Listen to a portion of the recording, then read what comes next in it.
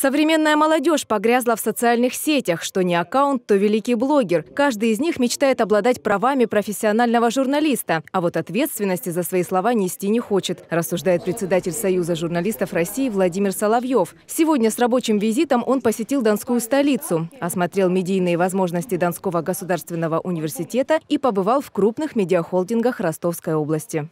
Я считаю, что в регионах вот это основа нашей журналистики.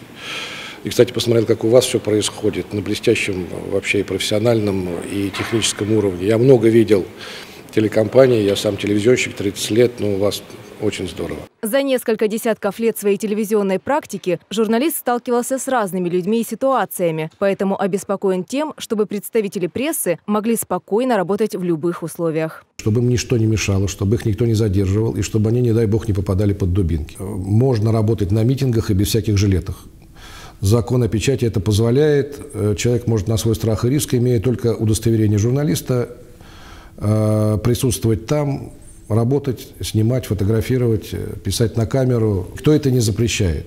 Однако, если силовики будут понимать, что представители СМИ – это люди в определенной и яркой спецодежде, то проблем станет гораздо меньше. Для этого нужен ряд нововведений, таких как разработка бейджей с QR-кодами и зеленые жилеты для прессы. Обсудили и острые темы – необходимость ограничения свободы слова для опасных преступников и новый сериал о ростовском маньяке. Вот, я надеюсь, все-таки там э, что-то разумное, доброе и вечное э, должны были придумать режиссеры и создатели сценария.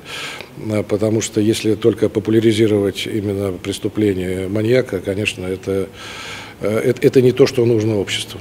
Такие фильмы, истории и расследования Владимир Соловьев назвал шоу-бизнесом, но никак не журналистской работой. А о ней в пятницу обязательно побеседуют со студентами журфака ЮФУ. Алена Бадр, Сергей Алфеев, Дон 24, Ростов-на-Дону.